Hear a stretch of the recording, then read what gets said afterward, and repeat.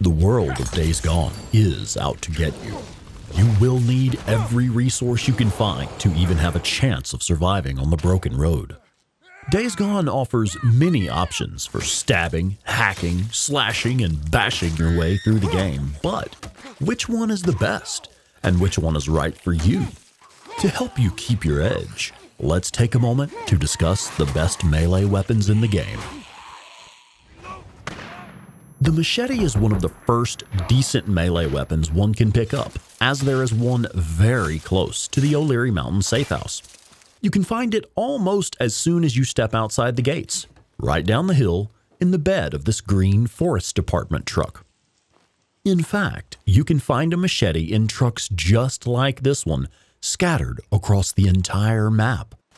It is also fairly common to find them in tool sheds and workshops.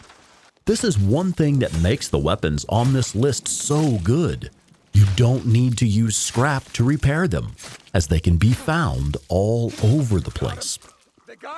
Though the machete doesn't do much damage per hit, it has a very fast attack rate and is best for players who like to get in close and slash their enemies to pieces. The fire axe is my favorite melee weapon in the game.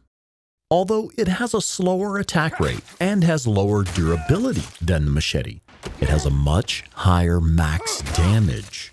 Most enemies will go down with just a few hits from it, making the low durability less of an issue.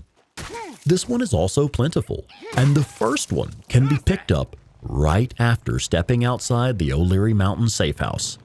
From the front gate, hang a right and follow the very first path you see. It will lead to a small survivor camp with your first fire axe. The fire axe can commonly be found near wood piles and also at fire trucks, but the best place to find it is buried in the skull of one's enemies. The superior metal axe is the most powerful melee weapon in Days Gone. It is a slow and heavy weapon similar to the fire axe, but the superior metal axe has both the highest damage and highest durability of all the melee weapons available in Days Gone. There is no melee weapon you can craft or pick up with better stats. Unfortunately, it can only be found in the later half of the game, once the player opens up the southernmost part of the map. To make sure you never need to waste scrap repairing it, check out this video made by 8-Bit Terror, host of the Days Gone podcast. Her video shows every location that we know of to pick up this incredibly powerful late game weapon. There you have it, folks. The three best melee weapons that you can find in Days Gone. I hope you found this video helpful. And as always, thank you for watching. We'll see y'all next time.